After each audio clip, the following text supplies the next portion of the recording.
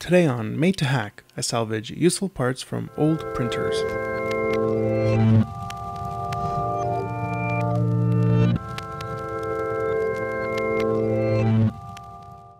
I begin with this old inkjet printer. I remove the paper tray and the back paper holder. I then start taking apart the printer to get to the insides.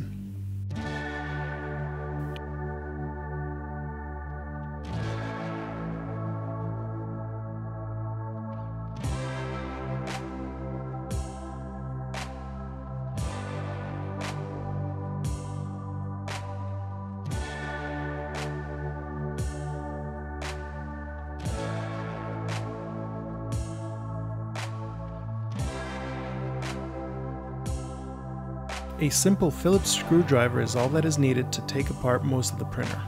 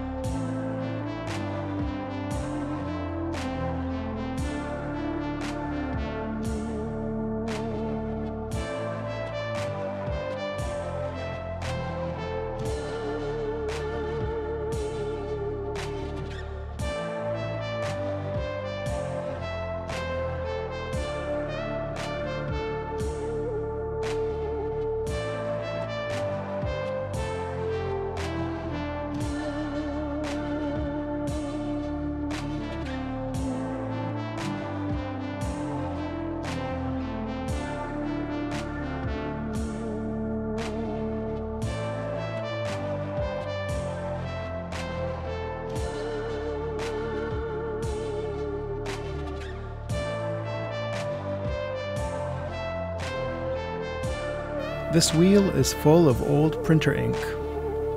That's why it probably costs a fortune. It gets wasted in this area here.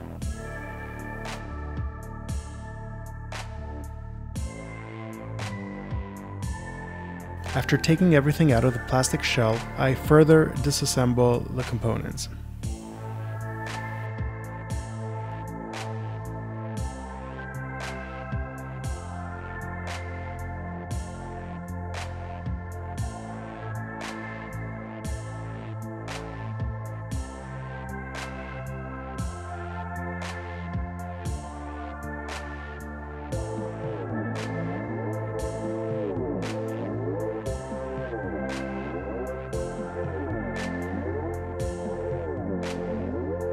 These are all the useful parts from the inkjet printer. I keep the cartridge head assembly as well as the paper feeder as one piece.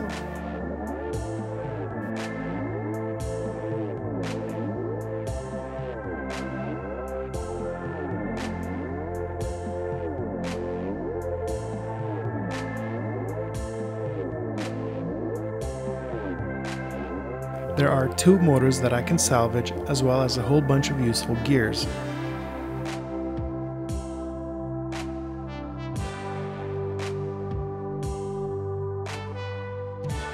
There is a 30 volt switch mode power supply that can be useful in the future. There's the control board. There are a few limit switches.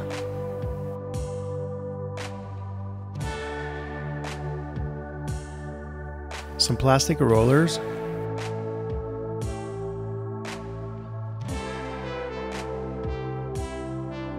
A whole bunch of screws and springs.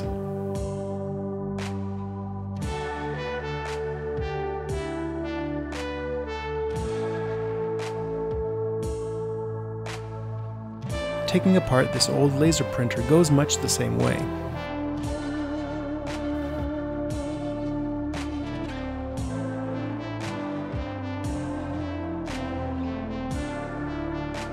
I begin by removing the paper tray.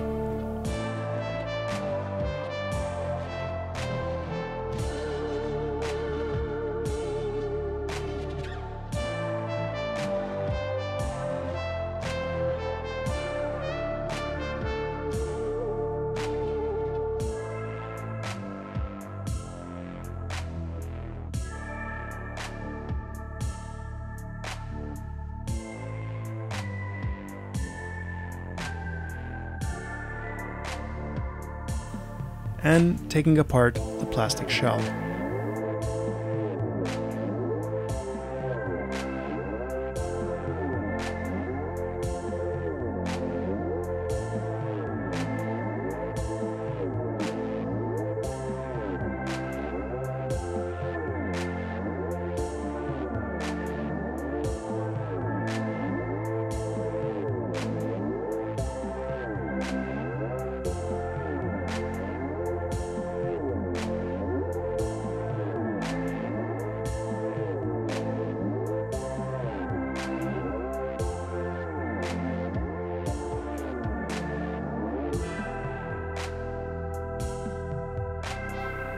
The laser printer is significantly more complex than the inkjet printer.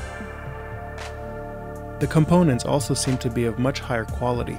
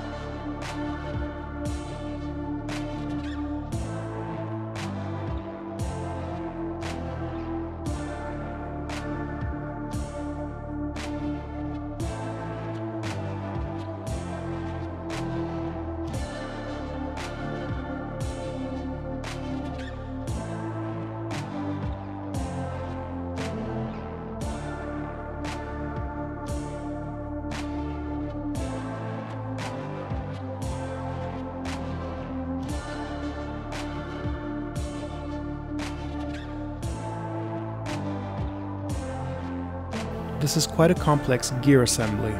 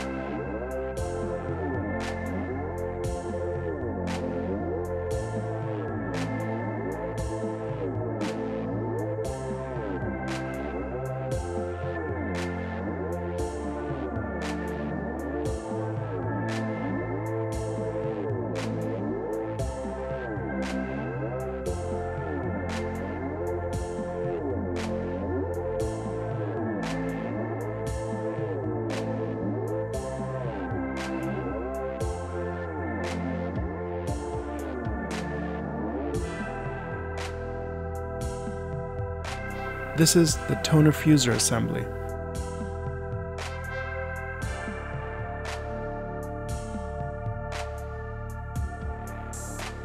There's also a 24 volt fan.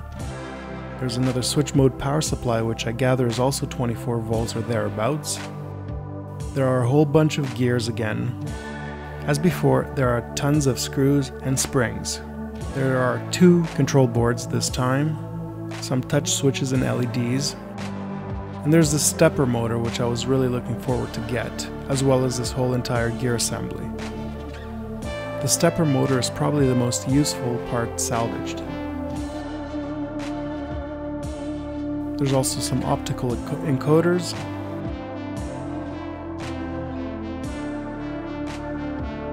There are these solenoid coils.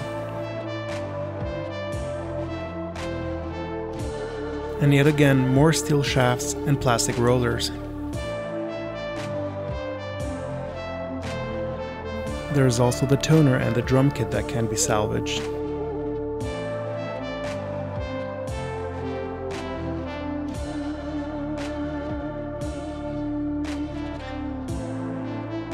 This is the laser and prism assembly.